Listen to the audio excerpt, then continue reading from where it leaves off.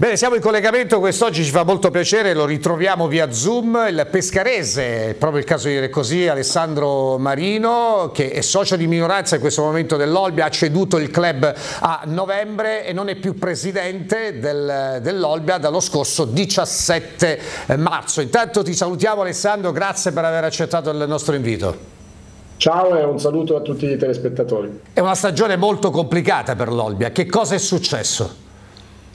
Ma sono stagioni che come sempre accade partono uh, con un certo auspicio e poi dopo durante la stagione eh, non vengono superate alcune difficoltà e che si accumulano e diventano come una palla di neve sempre più grande quando, quando rotola. Però io credo che il finale si, si, debba ancora scrivere e la squadra non debba, non debba mollare perché ci sono ancora speranze di andare ai play-out e poi ai play-out è una lotteria. Certo che insomma, contro la squadra della tua città domenica prossima alle 14 si giocherà naturalmente ad Olbia, eh, la squadra dovrà disputare come si dice in eh, simili circostanze la partita della vita e sperare naturalmente risultati favorevoli. Sì, eh, l'Olbia è obbligata a vincere eh, in quanto eh, le concorrenti sono tutte sopra in classifica, bisogna anche sperare che alcuni risultati si incastrino eh, Credo che ci siano le possibilità per farlo, ma visto che il Pescara è comunque una squadra importante, eh, deve riuscire comunque l'Olbia a fare un'ottima un prestazione. Diciamo che Marino ha scritto pagine, eh, io direi indimenticabili nella storia recente dell'Olbia, perché se non vado errato questo è l'ottavo campionato consecutivo di Serie C, dopo aver vinto la D nel 2016. Esatto, abbiamo fatto, sotto la mia gestione abbiamo fatto una vittoria della Serie D e poi dopo sette salvezze e un playoff di C.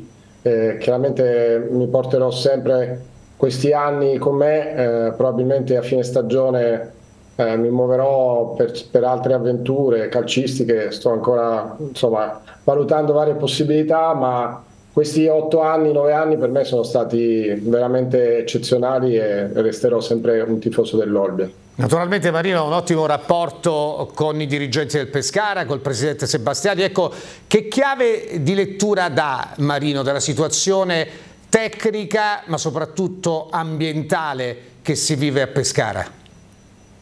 Ma sulla situazione tecnica credo che tutto sia dipeso da, dalle vicissitudini legate all'allenatore, perché comunque la squadra è, è una squadra costruita eh, con un'intenzione precisa, quella di valorizzare al massimo il calcio di mister Zema, quindi non credo sia colpa di nessuno se il mister abbia avuto uh, dei problemi di salute e, e questo ovviamente sta in, incidendo tantissimo su, sulla continuità del progetto tecnico e quindi ovviamente anche sulla classifica che secondo me uh, poteva essere migliore. I fattori ambientali credo che uh, siano negli ultimi anni stati un po' una costante, eh, però come sempre i risultati sportivi eh, non, non, aiutano poi magari a, rispetto ai fattori ambientali. Quindi è importante secondo me anche per il Pescara uh, riuscire a piazzarsi nel, nel playoff nella migliore posizione possibile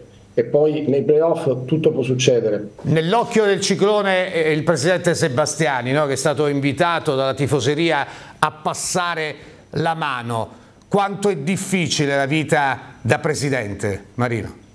Molto, molto difficile. Eh, Daniele è un amico, eh, so quanto sia difficile vivere eh, certe situazioni e quindi ha la mia solidarietà. È chiaro che Uh, bisogna sempre ascoltare le tifoserie, però quando ci sono in ballo uh, diciamo delle situazioni societarie anche delicate, uh, non, non, sempre si riesce a fare ciò che si vuole come presidente.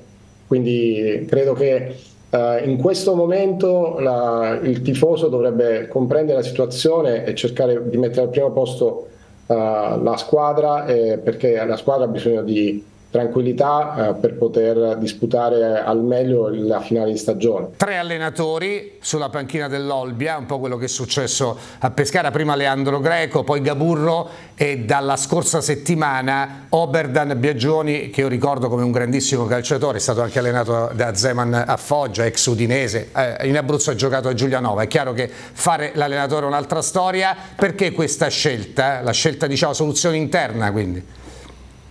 Sì, credo sia stata una soluzione interna che, che comunque alla fine ehm, eh, ha, ha, un senso perché comunque Biagioni, peraltro eh, corsi e ricorsi, quando io arrivai in Serie D nel 2015 c'era Biagioni come allenatore della prima squadra, quindi sembra un po' una casualità, ma eh, è così, è tornato a essere lui l'allenatore dopo tutti questi anni.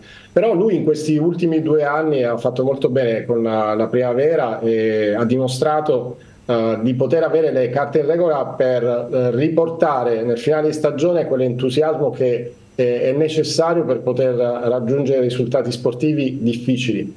Credo che il ruolo dell'allenatore non sia soltanto quello di mettere la squadra in campo, ma proprio anche quello di motivare in poco tempo eh, e credo che mister Biagioni abbia queste caratteristiche. Davvero in bocca al lupo eh, per questo finale di stagione.